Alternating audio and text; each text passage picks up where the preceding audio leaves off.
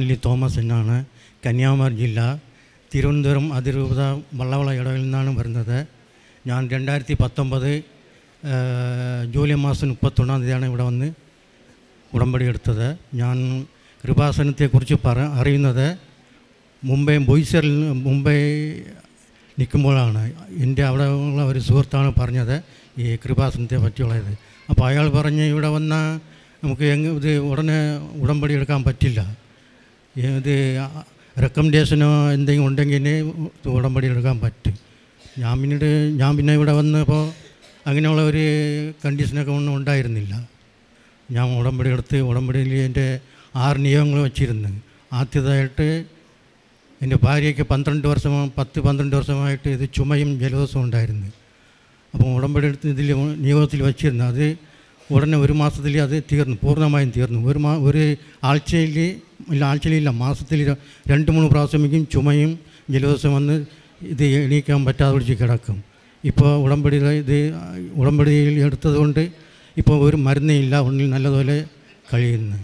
പിന്നെ എന്റെ ഒരു കൊച്ചു വീടുണ്ടായിരുന്നു. ആ, വീട് വഴിയില്ലാതെ വഴിയുടെ പ്രശ്നം കൊണ്ട് ഇത് വിൽക്കാതെ കിടന്നിരുന്നു.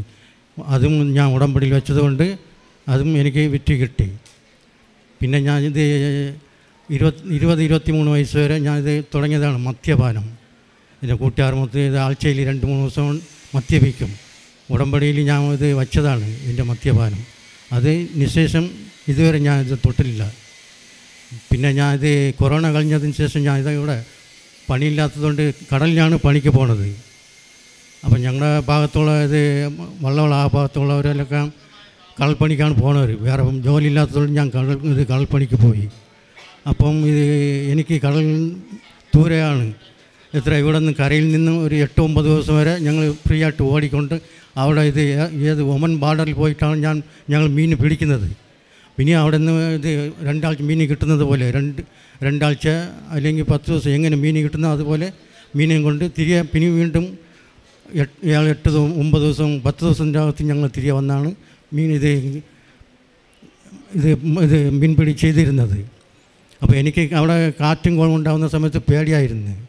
ഇത് എങ്ങനെ ഇത് ഒരു ആ ഒരു ഇതില്ലാത്ത നമ്മളിവിടെ ഇതെല്ലാ ദൂരത്തിൽ വന്ന് നമ്മൾ കിടന്ന് കിടക്കുന്നു.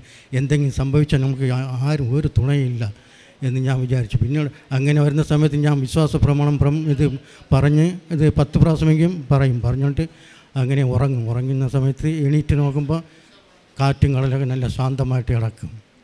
ഇത്രയും അനുഗ്രഹങ്ങൾ തന്ന എനിക്കും എനിക്ക് അമ്മയോടും തിരുകുമാരോടും ഒരുപാട് നന്ദി പറയുന്നു.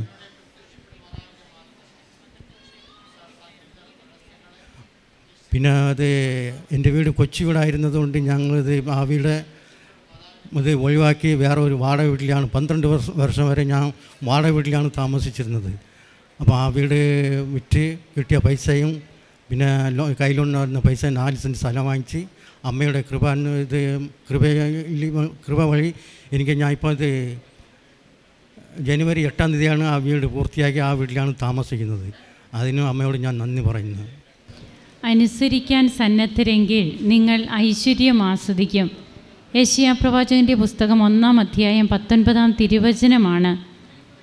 സ്റ്റാൻലി തോമസ് എന്ന ഈ മകൻ. തന്റെ പലതരത്തിൽ തനിക്കുണ്ടായിരുന്ന ദുശീലങ്ങൾ അതൊക്കെ എങ്ങനെ മാറിക്കിട്ടുന്നു? ഇരുപത് വർഷമായ മദ്യപാനം അതുപോലെ തനിക്കുണ്ടായിരുന്ന മറ്റ് പല ദുശീലങ്ങളുമൊക്കെ എങ്ങനെയാണ് ഉടമ്പടി എടുത്തതിന് ശേഷം മാറിക്കിട്ടുന്നതെന്നാണ് നമ്മോട് സാക്ഷ്യത്തിലൂടെ പറഞ്ഞത്. അതുപോലെ തന്നെ പന്ത്രണ്ട് വർഷമായിട്ട് വാടക വീട്ടിലായിരുന്നു. പിന്നീട് ഇവിടെ വന്ന് ഉടമ്പടി എടുത്തതിന് ശേഷം സ്വന്തമായി സ്ഥലം വാങ്ങിക്കുവാനും അവിടെ ഒരു നല്ല പുതിയ ഭവനം അവിടെ വെക്കുവാനുമൊക്കെ ഈ മകനെ സാധിച്ചു. അതിനുള്ള ലോണൊക്കെ സാങ്ഷനാകാതെയൊക്കെ കിടന്നത് അതെല്ലാം ലോണൊക്കെ അനുവദിച്ച് അങ്ങനെ നൽ അമ്മയുടെ മാധ്യസ്ഥത്തിലൂടെ ഈ മകന് ലഭിക്കുകയാണ്.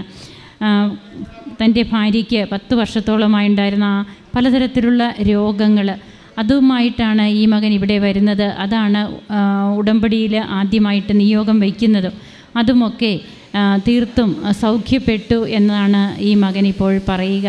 അപ്പോൾ തന്റെ ജീവിതത്തിൽ അനുസരിക്കാൻ സന്നദ്ധരെങ്കിൽ ഐശ്വര്യം ആസ്വദിക്കുമെന്ന് തിരുവചനം പറയുന്നത് പോലെ ഈ വ്യക്തി തന്നെ മാറാൻ തീരുമാനിച്ചപ്പോൾ തനിക്കുണ്ടായിരുന്ന പല ദുശീലങ്ങളും മാറ്റുവാൻ വേണ്ടി തന്നെ തന്നെ ഈ വ്യക്തി ഒരുക്കിയപ്പോൾ അവിടെ പിന്നെ കൃപകളാണ് വർഷിക്കപ്പെടുക. പരിശുദ്ധ അമ്മയുടെ മാധ്യസ്ഥത്തിലൂടെ ഈശോ പിന്നെ ഈ വ്യക്തിയെയും കുടുംബത്തെയും ഏറ്റെടുക്കുകയാണ്. അങ്ങനെ ഇവരുടെ ജീവിതത്തിലേക്ക് ഒത്തിരിയേറെ അനുഗ്രഹങ്ങൾ വർഷിക്കുകയാണ്. നമുക്ക് കരങ്ങളടിച്ച് ദൈവത്തെ മഹത്വപ്പെടുത്താം. ഈശോയ്ക്കും അമ്മയ്ക്കും നന്ദി പറയാം. യേശുവെ നന്ദി. യേശുവെ സ്തുതി. യേശുവെ ആരാധന. അത്യപൂർവ ദൈവാനുഭവങ്ങൾ ഇനി നിങ്ങൾക്കും സ്വന്തം. ചാനൽ ഇതുവരെ സബ്സ്ക്രൈബ് ചെയ്തിട്ടില്ലെങ്കിൽ ഇപ്പോൾ തന്നെ സബ്സ്ക്രൈബ് ചെയ്യുക. ഈ വീഡിയോ ഇപ്പോൾ തന്നെ നിങ്ങളുടെ സുഹൃത്തുക്കൾക്ക് ഷെയർ ചെയ്തുകൊണ്ട് കർത്താവിന്റെ പ്രേക്ഷിതരാകുക